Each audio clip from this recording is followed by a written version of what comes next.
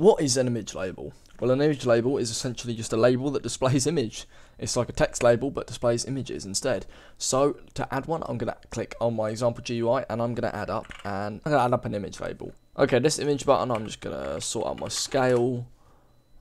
Maybe make it we are 150 by 150 and I'll just plot it bottom uh, top left top left why not these labels have the exact same properties except image this is a new property here got an image an image color uh, uh, offset size which we don't really need to talk about too much transparency and a couple of other bits down here.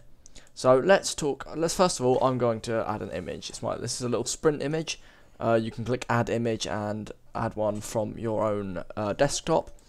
Now, image color, if I change this, it won't actually do anything, but if my uh, symbol wasn't fully black, say it was like white, I'd be able to change the image, the color of it here, but because it's just a pure black icon, I can't. I can change the transparency, so if I set that 0.5, the image is 0.5. If I set it as 1, it's completely transparent, and you, you, get the gist. Okay, so resample mode, we've got pixelated, and default. So default, it will try and size it up without making it too, uh, without pixelating it, but it will create a bit of blur. However, if you go for pixelated, it will size it up, but it will create a pixel type um, effect. Default is normally best to go, especially if you have um, vector art or anything like that.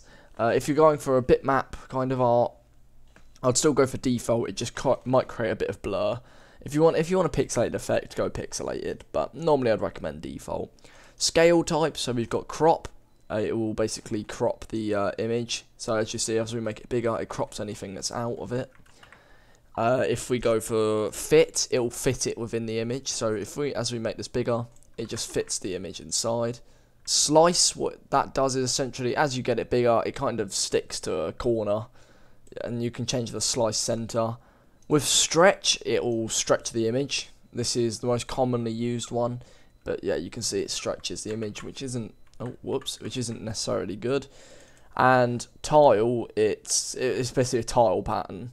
So with so with tile, what I can do is I can make this really big. You'll see it's kind of stretching at the minute. But then if I go to uh, tile size 0.1, 0.1, or sorry, let me open this up, 0.10, 0.10, you'll see it creates multiple uh, tiles. It kind of replicates them and creates tiles out of it.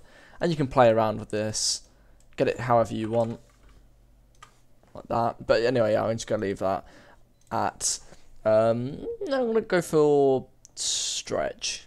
Okay, and that's pretty much it for image labels, everyone. Next video, we're going to be going over image buttons, so I'll see you then. Goodbye.